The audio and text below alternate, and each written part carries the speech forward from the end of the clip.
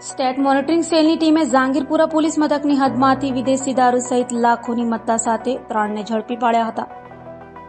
સુરતમાં state monitoring સેલની team વારંવાર દારૂ અને જુગારના અડ્ડાઓ પર દરોડા પાડી રહી છે ત્યારે જહાંગીરપુરા પોલીસ મથકની હદમાં ગૌરવપથ રોડ પરથી સ્ટેટ મોનિટરિંગ સેલની ટીમે સુજલ કિશોર રાઠોડ, સાગર જોગેન્દ્ર પ્રધાન અને સાજિદ સલીમ શેખને ઝડપી પાડી તેઓ પાસેની કારની ઝડપી લેતા કારમાંથી વિદેશી દારૂનો જથ્થો મળી આવ્યો હતો, જેથી કાર દારૂનો જથ્થો મોબાઈલ સહિત ચાર લાખ ત્રોતેર હજારથી વધુનો મુદ્દામાલ કબજે કર્યો હતો. જ્યારે જોની જામુભાઈ રાઠોડ, જાંબુરો સહિત ત્રણને વોન્ટેડ જાહેર કરાયા હતા.